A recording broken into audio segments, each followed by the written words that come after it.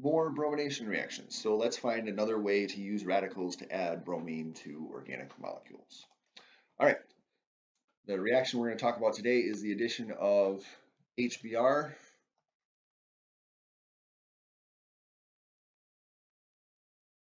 oops, HBr um, to an alkene as a radical. So let's, we'll just take a very simple alkene here. Our conditions are going to be HBr. We're going to use a peroxide. I'm just going to use an R group here. You can have a lot of different R groups for your peroxide as long as you have this oxygen-oxygen sigma bond you have a peroxide, right? So peroxides are any R groups. These can be any carbon group or hydrogen, right? And then the important thing is that you have this oxygen-oxygen sigma bond because when you heat them up, heating produces homolysis. And so you remember homolysis from the previous uh, video. If we heat this up, the first thing that's going to happen is we're going to get homolysis. So our initiation step is homolysis of the peroxide. One electron goes to this oxygen, one electron goes to this oxygen, and we get these radical pro uh, products, right? So no radical in the starting material, radical in the products. Now this should look familiar. We have two heteroatoms, two oxygens connected to each other by a sigma bond. And so when we introduce energy, in this time in the form of heat, we are going to homolyze that bond. That bond will fragment and each oxygen will get a single electron.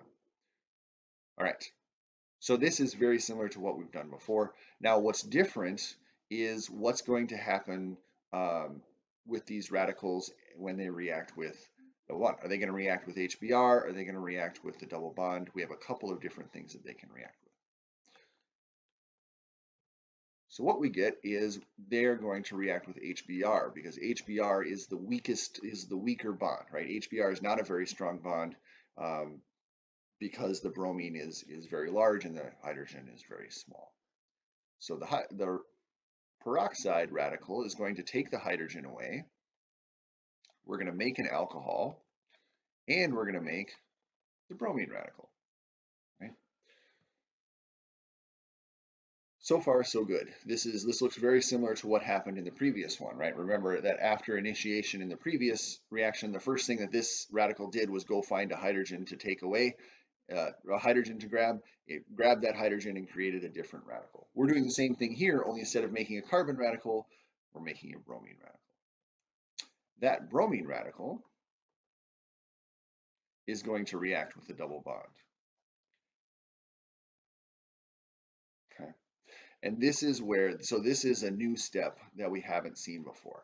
Now remember that the goal here is to make a stable radical, right? We want to make the most stable radical possible. And the most stable radical that we can make as we break the pi bond. Most stable radical possible um, after pi bond is broken. So our pi bond connects a primary carbon to a secondary carbon. And so we look at this and say, where do we want the radical to go? The secondary carbon is going to be the more stable position. So what we're going to do is this radical is going to come in.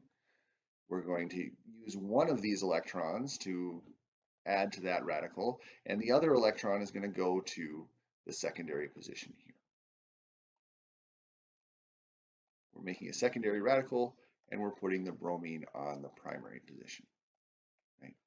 So when we break the pi bond, this is very much like um, when we break the pi bond to add hydrogen to it and if you treat it with strong acid, right? If you add H plus to an alkene, what do you do? You add the hydrogen to the less substituted position, you put the carbocation on the more substituted position. We're doing the exact same thing here, only the difference is we're doing it as a radical and we're adding bromine instead of hydrogen right? So instead of adding the hydrogen first, in this case, we're adding the bromine first. And the upshot of that is, is that the bromine goes in the less substituted position because we want to generate our radical on the more substituted position. Okay, so then that radical will, uh, whoops, will react with another equivalent of HBr.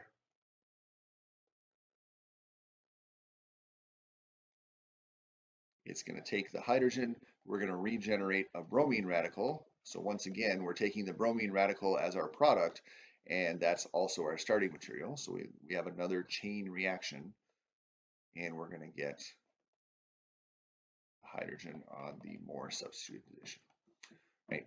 So in the addition of HBr uh, with peroxides, right, the bromine goes on the less substituted position.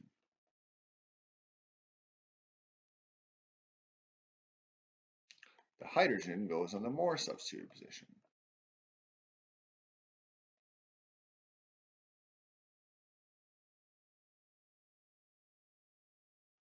Now, right, this is the opposite of what Markovnikov taught, taught us. Markovnikov said, always put the heteroatom on the more substituted position, right? Um, this doesn't really apply. Markovnikov's rule doesn't apply here because we're not talking about carbocations. Instead, we're talking about radicals. So this still makes sense because we're still going through the most stable radical that we can make. It's just that because we're doing a radical reaction, the bromine radical is the first thing to react. And so the bromine is the first thing added on, which means that our pi bond ends up uh, adding the bromine to the less substituted position because we want to put the radical at the more substituted position. Right? And so the nice thing about radicals, again, we don't have to worry about rearrangement. So uh, you're only ever going to have to worry about what are the substitutions of the two carbons that are part of the double bond, right? So in this case, we only had to worry about this primary carbon and this secondary carbon. The rest of the molecule is pretty irrelevant. As soon as we add a, um, our bromine radical in there, we make a secondary radical, and that one goes and gets a hydrogen to get to our final product. So when you are given conditions like these and asked to just predict the product, right, we know that we add a hydrogen to the more substituted and a bromine to the less substituted position. Like right? That's two down, one to go. So we have uh, done addition of HBr, we've done addition of bromine. Next time we're going to talk about what we're going to use a whole new reagent, NBS, and then we're going to talk about what how do we use resonance with radicals?